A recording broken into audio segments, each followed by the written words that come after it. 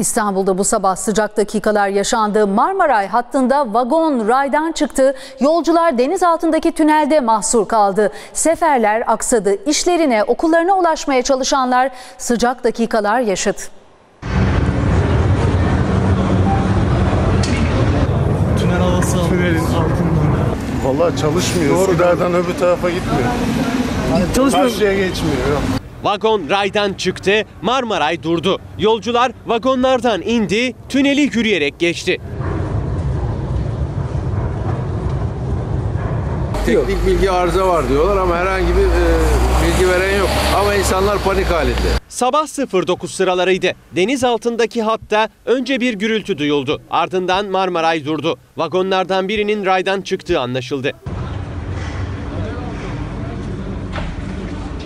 Vatman kapıları açmak zorunda kaldı. Yolcular tünelin ortasında indi. Yürümeye başladı. Neyse ki yaralanan dahi yoktu. Tünel havası. Tünelin altından.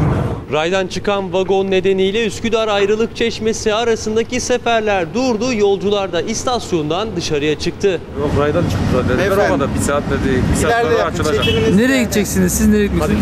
Üsküdar istasyonunun kapısı da bu sırada güvenlik şeridi çekilerek kapatıldı. O dakikalarda Marmaray tek hat üstünde çalıştı. Kırmızı alarm kısa sürdü. Tren değiştiriyorsunuz sürekli. Aktarmalar olarak geldi. Evet beklemeli bir aktarmalı. Kısa süre sonra seferler normale döndü. Yolcular da rahat bir nefes aldı. Vagonun neden raydan çıktığına dair inceleme sürüyor.